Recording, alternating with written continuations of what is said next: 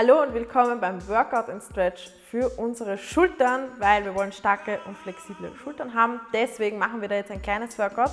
Wir machen vier Übungen für vier Runden und 15 Wiederholungen. Wir strecken die Arme nach vorne, Daumen zeigt nach oben und jetzt ist ganz, ganz wichtig, dass wir eben schulterbreit sind. Das heißt nicht in die Breite, sondern wir möchten unsere Schulter verlängern.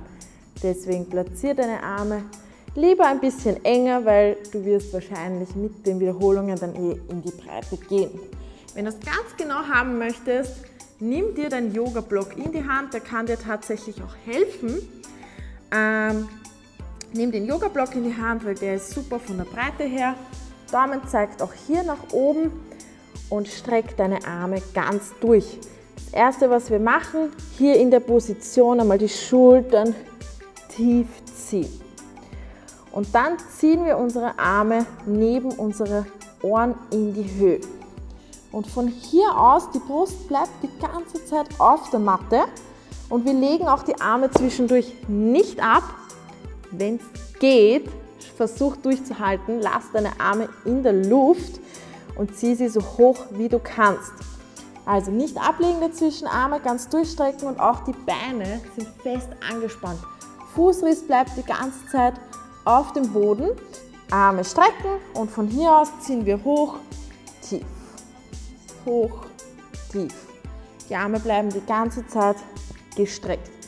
Wir starten, wir machen alle Übungen, alle vier Übungen 15 Mal und wir starten gemeinsam.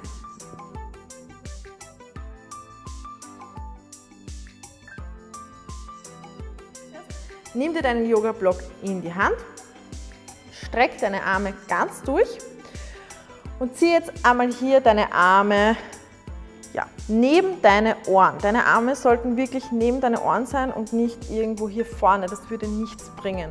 Du möchtest deine Hände obert und deine Schultern eigentlich auch wie im Liegen in einer Linie halten.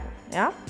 Wichtig ist allerdings hier, dass wir eben nicht so locker im Hohlkreuz sind, sondern dass wir auch unsere Bauchspannung behalten. Das heißt, zieh den Bauchnabel fest nach innen und schau, dass hier dein Rücken gerade ist, dass du wegkommst von dem Hohlkreuz und deine Bauchmuskulatur wirklich während der gesamten Übung fest aktivierst. Wir haben jetzt unseren Schultern ganz schön tief. Wir ziehen sie jetzt einmal zu den Ohren so fest wie es geht und dann noch höher. Und das ist wirklich ein Step dazwischen. Einmal die Schultern zu den Ohren ziehen, noch höher, da holen wir nochmal die letzte Kraft raus und dann lösen wir wieder und ziehen tief.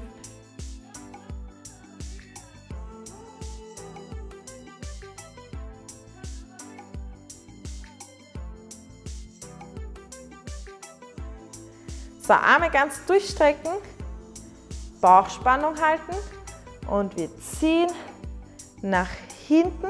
Also wir ziehen einmal die Arme wieder zu den Ohren, so wie vorhin. Und von hier aus jetzt ziehen wir nach hinten so weit wie es geht. Und wieder vor. Machen das gemeinsam. Wir fangen an. Los geht's. Und wir knien uns jetzt etwas breiter hin. Also du kannst da ruhig breiter als hüftbreit sein. Orientiere dich vielleicht an deiner Matte. Über deine Matte solltest du nicht hinauskommen. Dann ist das erste, was wir machen, wir nehmen einmal mit einer Hand unsere Ferse.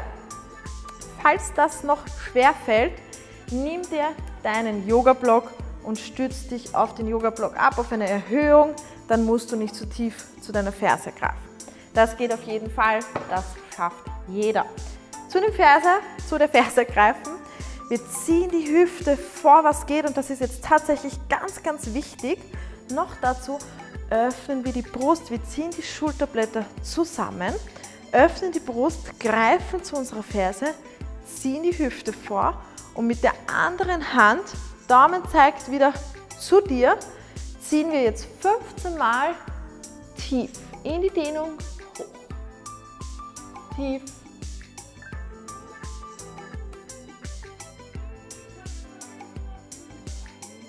Und ja, das war's auch schon. Super, dass du durchgehalten hast und ich freue mich schon aufs nächste Mal.